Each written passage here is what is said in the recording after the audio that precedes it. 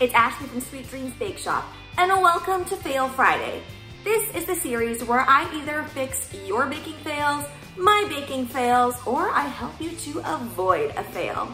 On this channel, if you're new here, I offer baking tutorials, decorating tutorials, and I also offer you home baking business advice. And today I'm going to be talking to you about the things that I had to stop saying to my customers to avoid stress and to save me money. So let's get into it.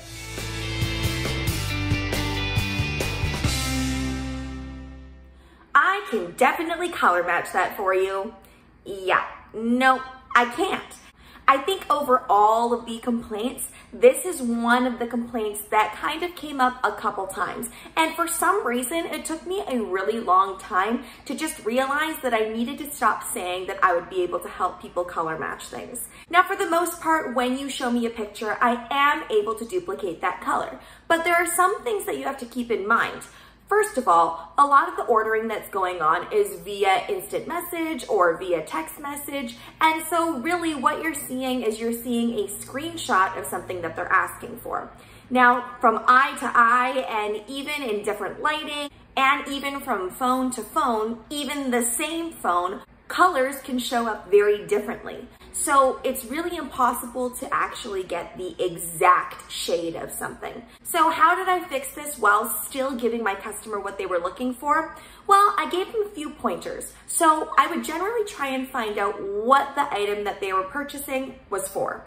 Is it for a birthday party? Is it for a wedding? Generally, it was for something like that. So I would actually talk to them about how color palette is more important than actually nailing the exact color.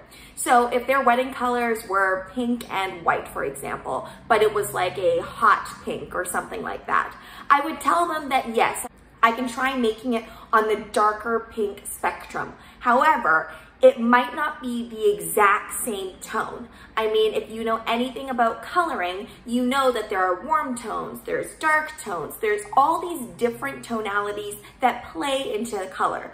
A color is not simply just pink, really. It can be more red, it can be more purple, it can have a bluish tone.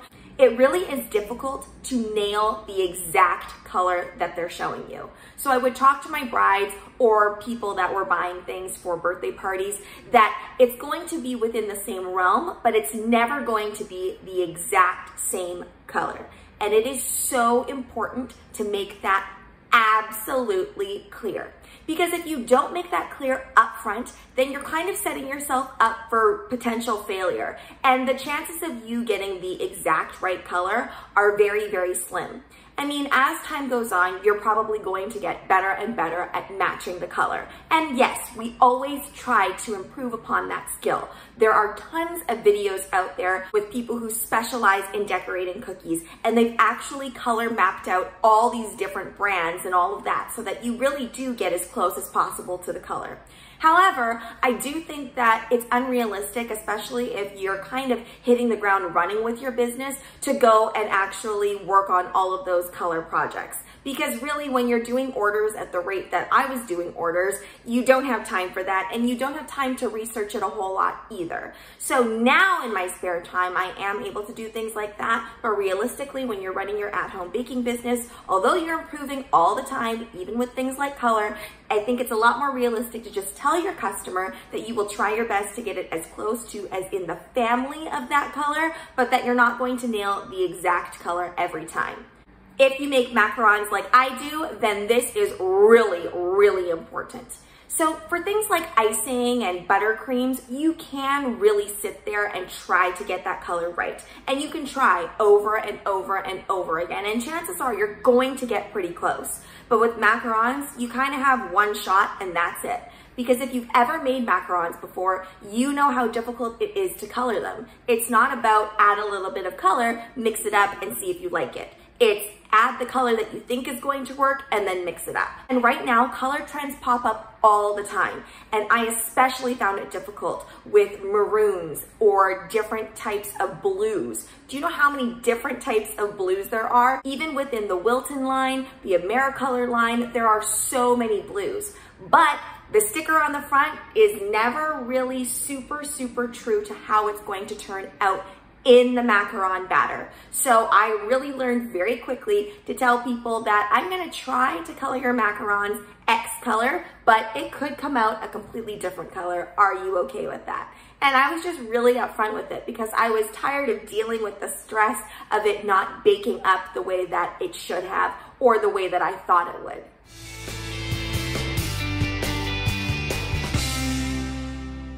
Will make this cake or cookie exactly like the picture.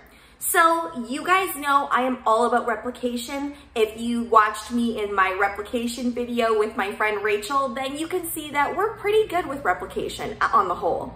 But no replication is perfect, perfect. I mean, I've seen some amazing artists out there, so wow. However, I do think that in the cake world, there's always a slight bit of finesse where it can go one way or another. It's just that little spin of artistry that you have. So although I never actually ran into any difficulties with this, once I ran into trouble with the whole color palette issue, I started also saying this to customers.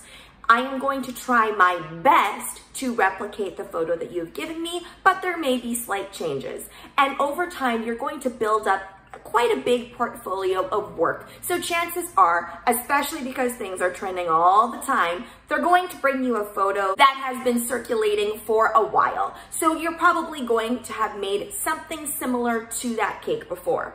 So what I usually like to do is I would say, I'm going to try my best to replicate that this is an example of a cake that I have done before. Is something like that what you would like? And generally people are really chill and relaxed and they'll be like, yep, that's great.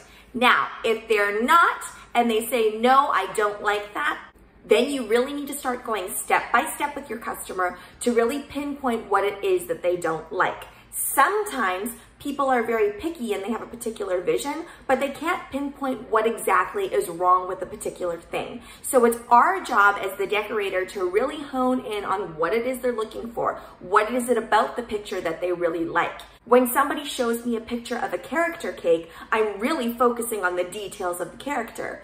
But little do I know that really they could care less about the character and they're actually caring about the really crisp lines on it and the perfect drip and they want those particular glitter sparkles used or whatever. So it's so, so important that you nail down what it is about the picture that they're showing you that they like. Once you nail that down, make sure that you don't guarantee any 100% replication. I truly believe honesty is the best policy in this case. And when you're just starting out as a baker, it's really easy to over embellish your abilities as a baker and your abilities as a decorator. And I'm not saying that you probably aren't amazing at creating something wonderful, but the chances of you being able to create it exactly like a picture and really nailing down what your customer is asking for are slim if you really, really don't communicate.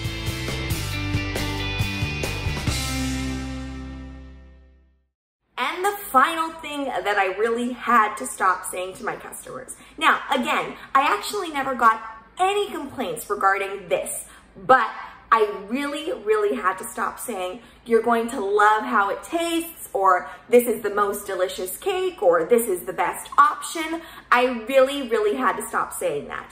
And instead, I started turning my statements into something different. So all the time, and I don't know why this happens, but all the time, customers are asking me, is it going to taste good? As if the product that I'm giving you doesn't taste good, in my opinion. I really don't know why customers ask this question. I mean, I sort of get it. You want your product to taste good. If you're going to be spending hundreds of dollars on something, you want it to be a good payoff.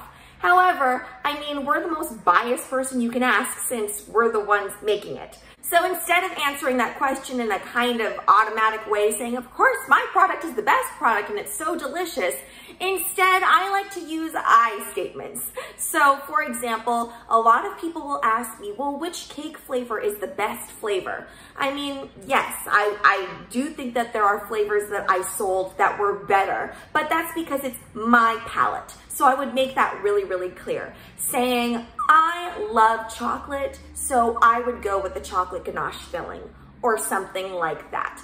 And another thing that customers would always ask me, especially in this area, and my parents often say this too, but they would ask me, oh, I just wanna make sure that the cake isn't too sweet.